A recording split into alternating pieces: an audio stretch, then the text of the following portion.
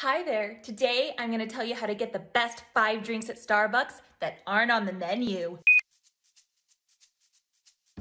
I actually have no idea how to order something that's not on the menu. I have never done that in my life. I've handpicked things out of pizzas, out of salads. My husband always eats the mushrooms that come on my chicken at Texas Roadhouse.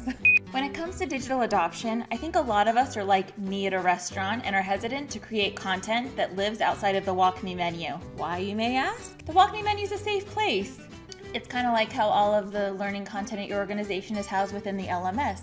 It's safe and users know exactly where to go if they need it. However, getting content that's not found in the WalkMe menu isn't a social faux pas. It's a great strategy for putting content for your users directly within their flow of work. I'd love to show you how I've used launchers and shoutouts to persuade users to order off the menu. Hi there, Headphones Steffaney. Here we are in Salesforce. We have our traditional Salesforce Help button, which has our entire collection of walkthroughs to help the user. However, right here on this lead page, I want to make sure that this user has everything that they need to be successful with leads. So what we did is we created this button that says Manage My Lead.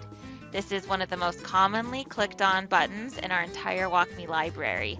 And here we have the option of managing my tasks, converting a lead, reassigning a lead, or enhancing this lead with ZoomInfo. So if I'm ready to convert a lead, I just have to click here, make sure that the lead is business verified, click the carrot. Who knew that that was called a carrot? Not me. And then we're able to convert. But you can see how easy it is to reach users directly within their flow of work and give them everything they need to be successful.